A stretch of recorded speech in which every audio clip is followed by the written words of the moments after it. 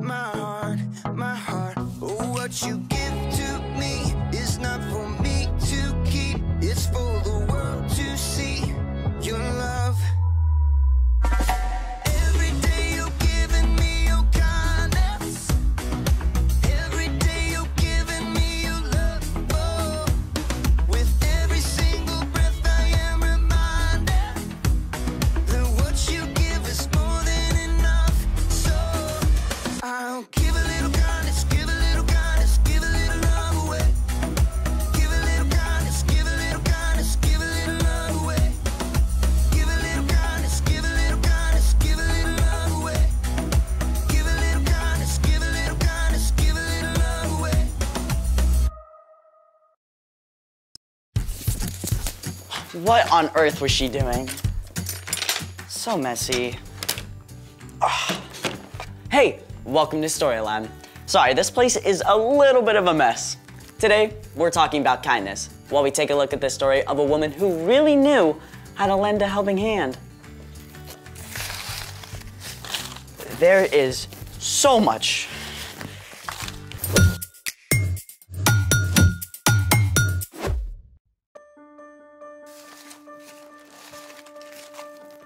wow. Thank you for your help. You're welcome. What happened? I had to run to the garden store before they closed. Oh, looks like you've already started. Hi, I'm Skylar. And I'm Sebastian. Today, we're talking about kindness, which is showing others they are valuable by how you treat them. As you've done by cleaning up my mess. Anytime. So, what are you making and what did you have to buy? I'm making seed surprises to give away when I go hiking this week. I'll leave them at the trailhead so anyone can take one home. Seed surprise. Yeah. It's something that started in Japan. Seed surprises are actually called tsuchi dango, which means earth dumplings. So, Seedy, earthy dumpling surprises. What's the surprise? An explosion of wildflower beauty. I'm still lost. You can help me put them together and figure it out. Let's make it.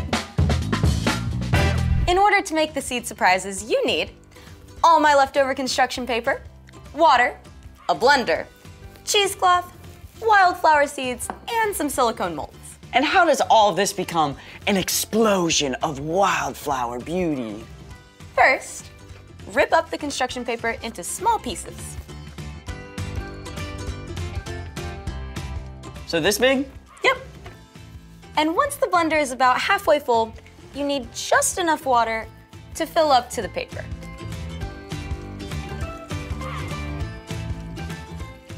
Like this? Exactly. Now, turn it on. And blend until it's a smooth mush. Definitely mushy. Now it's time to strain the water out. With the cheesecloth? Exactly.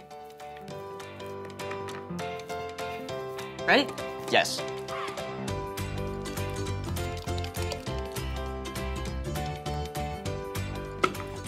Now, squeeze out as much of the water as you can.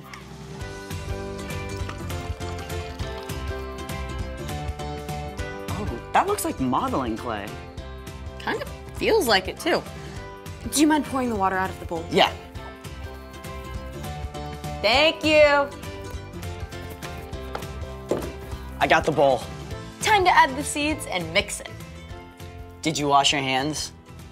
Always. Then we put the seedy mush into the molds. Exactly. I'm gonna get flowers from my flower.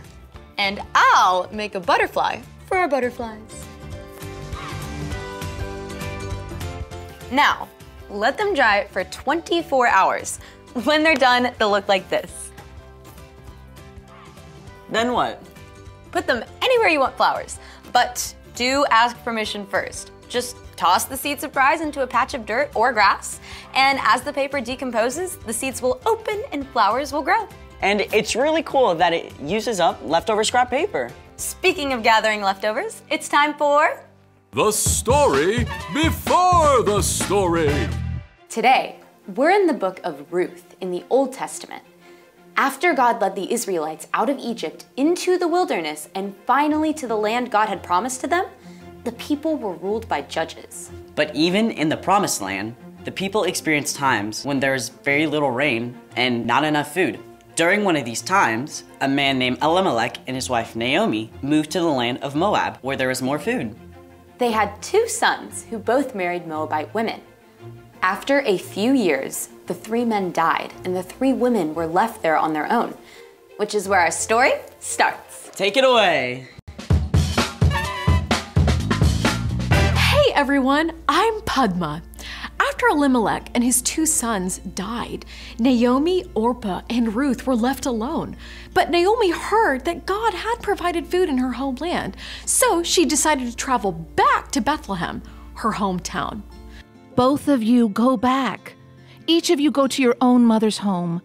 You were kind to your husbands who have died. You have also been kind to me. So may the Lord be just as kind to you. No, we're going with you. Why would you come with me? I have nothing to give you. At last, Orpah said farewell and left to return home. But Ruth was not ready to go. Don't try to make me leave you and go back. Where you go, I'll go. Where you stay, I'll stay. Your people will be my people. Your God will be my God. Naomi could see that Ruth was not going to change her mind. So, together they began the long, dusty journey to Naomi's home. Naomi, is it you? Are you really back? Where's Elimelech? What about your sons? What happened, Naomi? Don't call me Naomi. My life is very bitter. The women were astonished at how Naomi had changed. But Ruth continued to show love and kindness to Naomi. We need food. Let me go out to the fields. I'll pick up the grain that has been left. One of God's laws said that harvesters should always leave behind some grain that their neighbors could gather if they were in need. That's what Ruth was heading out to do. Gathering grain is difficult work. Ruth was in for a long, hard day. Please, may I pick the leftovers? Oh, uh, our master is kind. You may gather anything on the ground that you find. Ruth worked hard in the heat of the day, stopping only once to rest in the shade. As she continued to gather grain, the owner of the field, Boaz, arrived. After Boaz greeted the harvesters, he asked them, Who is this young woman in the field?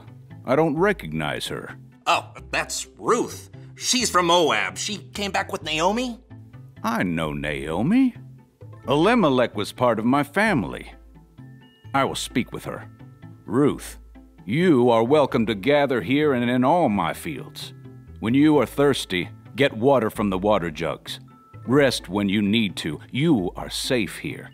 Sir, why are you being so kind to me? I'm not even from here. I've heard about your kindness to Naomi. I know that you left your family and your country. May the Lord reward you for what you have done. Boaz even made sure that his men left extra grain behind for Ruth. When Ruth returned to Naomi that evening, Naomi was amazed to see how much grain she had gathered. Where on earth did you pick up grain today? I went to the field of a man named Boaz. He was very kind to me. Naomi's attitude began to change. May the Lord bless him. The Lord is still being kind.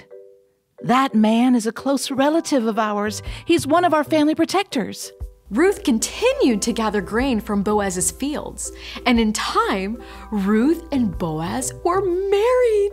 Ruth gave birth to a son named Obed, who ended up being the grandfather of King David and the great, great, great, lots of greats grandfather of Jesus.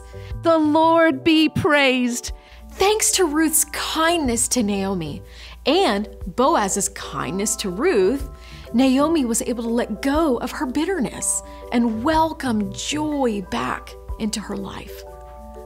The end. Wow, Ruth was so patient with Naomi. Patience is a great way to show kindness. And by choosing to stay with Naomi, Ruth showed Naomi that she still mattered. So, what's our part in the story? No matter how much we love our family and close friends, sometimes it's actually easier to be kind to a stranger. We see our family and friends at their best and their worst, just like Ruth and Naomi. But you can still choose to be kind, even when someone you love is driving you nuts. Yeah, when my brother gets grouchy, it's annoying. And then I get grouchy too, and then, you know, I snap back at him. Instead of being annoying back, you can say something encouraging or do something nice for him. Yeah, to be honest, it's so easy to bug someone you love because you know them so well. Like making annoying noises. Or poking them in the arm. Choosing kindness means you're not gonna push any of those buttons. Plus, you can choose kindness by thanking your family or friends when they help you. Especially your parents, because they do so much for you. Saying thank you is a great way to show them you value them. Sounds like you've got it. See you next time. Bye. So here's the thing be kind to the people closest to you. It'll be like a kindness surprise growing all over your home. Speaking of, I gotta get ready for my hike and give away these seed surprises. Can I join you? Of course. Thanks for joining us in the Story Lab. See you, See you next time. So, what kind of flowers are gonna grow from these? It'll be a surprise, but it'll also be beautiful.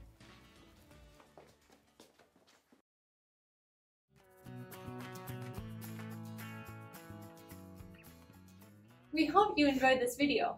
Now, parents, if you would like to kind of talk about this a little bit more with your kids, please head over to our website. There's more resources, devotionals, and a discussion guide. And if it's your first time visiting, don't forget to click and subscribe so that you can get updates when new videos are added. That's it. We hope you have a great week. Bye.